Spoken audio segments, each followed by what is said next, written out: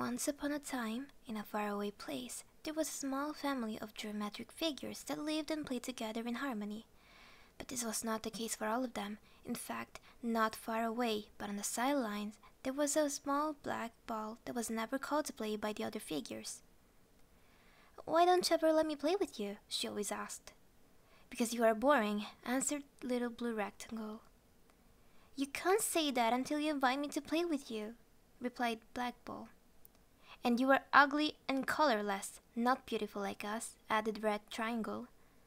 I'm tired of being in a place where no one loves me. I'm going to leave and find someone who will invite me to play and who is better than all of you. At these words, all the figures burst into a roaring laugh. Did you hear her? Keep dreaming, silly ball, said Red Triangle. Anyway, if that's what you want, you're only doing us a favor by leaving. Come on, send her away. After these words, without even having time to respond, Black Ball was pushed away from the other figures, still snickering satisfied. Oh, what a blow.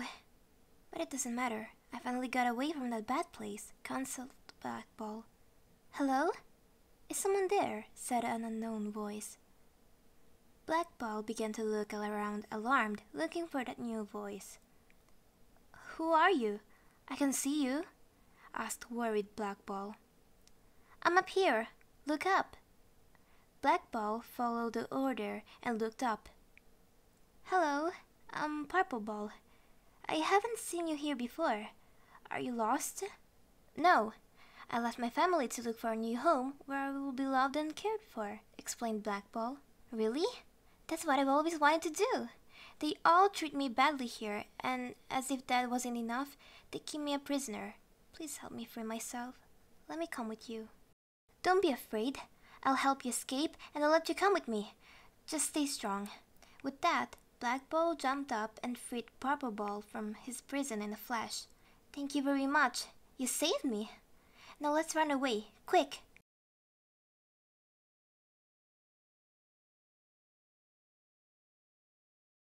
Black Ball and her new friend proceeded with their journey until they arrived in a new place. Where do you think we are? asked Purple Ball turning to his companion.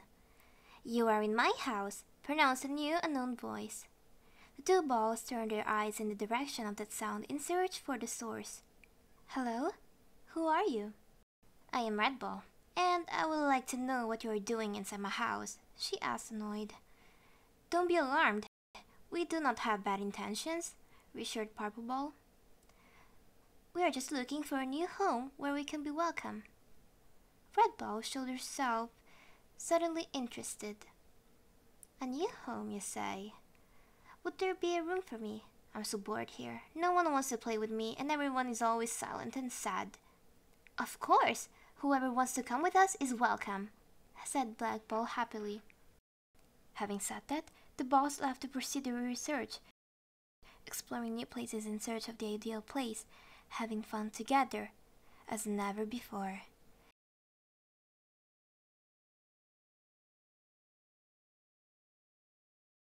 But despite the games and the fun in the company, the boss did not find what they were looking for and began to lose hope. Why can't we find a new ideal home for us?